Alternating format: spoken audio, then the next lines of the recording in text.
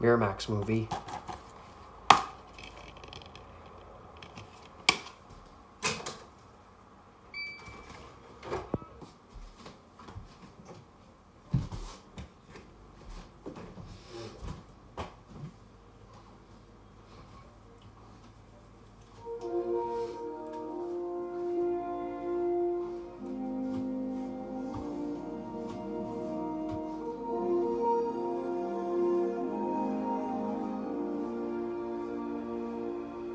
This has the alternate fanfare.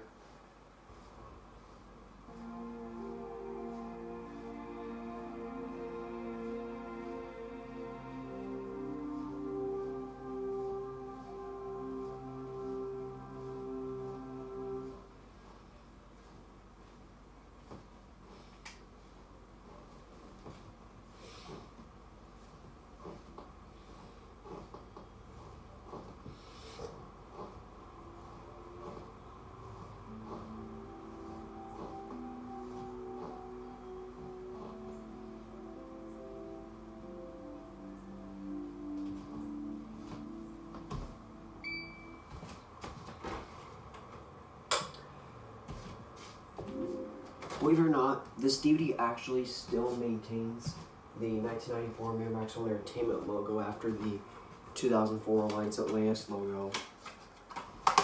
So that's pretty interesting.